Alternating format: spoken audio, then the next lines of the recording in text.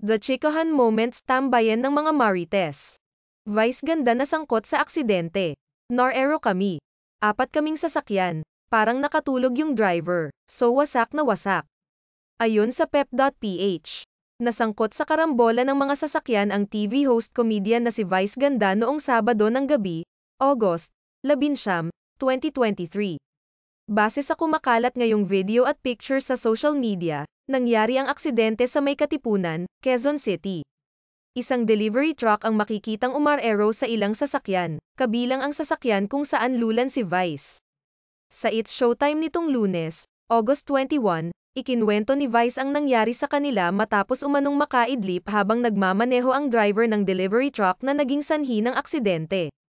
Kalakip nito ang panawagan niyang tulungan ang iba pang biktima ng naganap na aksidente, maging ang driver na nakabangga sa kanila.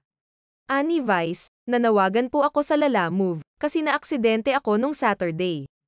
Sana po tulungan niyo po yung driver na nakabangga sa amin. Ang co-host niyang si Kim Chu ay agad na nagpaabot ng tulong bilang siya ang ambasador ng Lala Move. Meme, ambasador ako ng Lala Move. Sige, pwede kong i-text, sabi ni Kim. Pakiusap ni Vice, paki, oo. Assist nyo rin yung driver, although sa contractor yun. Pero ay assist sana kasi kawawa yung driver. Sa huli, laking pasasalamat ni Vice sa Diyos na napinsala man ang kanyang sasakyan ay ligtas naman sila. Aniya, we're still alive.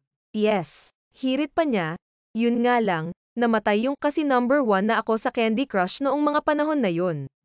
Oo, number one ako ilang weeks na, number four na, lang ako ngayon. For more Chikahan moments, please hit subscribe, like and comment.